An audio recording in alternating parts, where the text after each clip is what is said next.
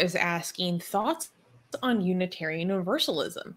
Is it the most tolerant religion, or does it have the paradox of tolerance? Is it woke or a paragon of religious slash political liberalism? Do you know that much about Unitarian Universalism, Armin? It's just a wishy-washy, anything goes religion. It's you know, it's and, and it's very harmful actually. Um, it's just like one of those things that tries to give the idea impression that there's a hope for religion, and that the whole idea of there's a hope for religion is a very dangerous like to even to people who are maybe against abrahamics like they're trying like this gives them the impression that you know what? Maybe just some religions are bad. You shouldn't just give up on religion as a whole because hey look at this religion that's a very dangerous suggestion, right? Because we are against religions not just because of their conclusions, we are against religions mostly because of their methodology. It's the methodology that is horrible, right? Even if you accidentally or just happen because of PR reasons or because of like I don't know, you have cornering a market of people who want still want religion but don't want Abrahamism. Um, because of these reasons, now you're coming up with conclusions that are accepted. I mean, the conclusions that these religions come up with uh, that are more acceptable into modern society is like well your religion has no responsibility to come come up with these conclusions. Better systems better models came up with these conclusions and now they're more accepted and now you see a market and you're acting like your religion has come up with it. No you're just you're just um the so i the main problem with these religions is that it doesn't give credit to this to the methodology and the systems and the philosophies and the ways of thinking that brought about these better values and you know these better ways of living. They act like oh our religion teaches that. Well your religion didn't come up with that.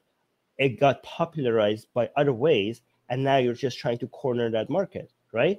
As a, as a religion and you're taking credit for it. Well go fuck off right? You what by doing that you're promoting religious way of thinking yeah, right? You're promoting a flawed methodology that often gets us really, really dangerous and horrible conclusions. This is why I keep telling people that you shouldn't choose, you know, you shouldn't choose like philosophies or ideologies based on their conclusions, right? You should choose them based on the methodology. You have to see what method, which which system has the better ways of getting to conclusions, not just look at the conclusions, right?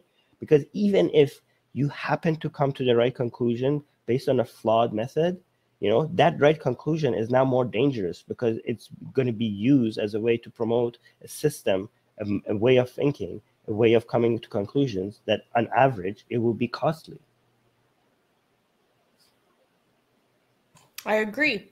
Um, I think I don't know that much about Unitarian Universalism, but the impression that I do have from what I have been exposed to is it's just like cherry picking the best parts out of any given religion around the world and trying to like piece it together as a cohesive thing.